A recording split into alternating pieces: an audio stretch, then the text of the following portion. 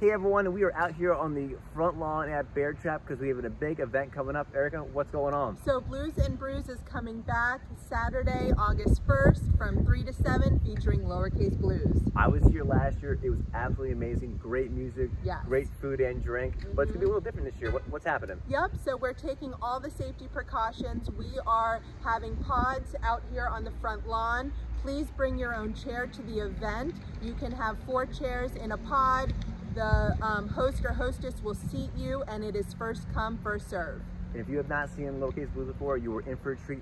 Great, great music. The Den team here putting together awesome food. And They then are. Um, one of my favorite, of course, craft beer. Yes. Sitting out here uh, in the sunshine, enjoying it. How does someone learn more? Yep, so you can learn more at beartrapdunes.com or check our Facebook and Instagram. Awesome. Look forward to August 1st. We'll see you here.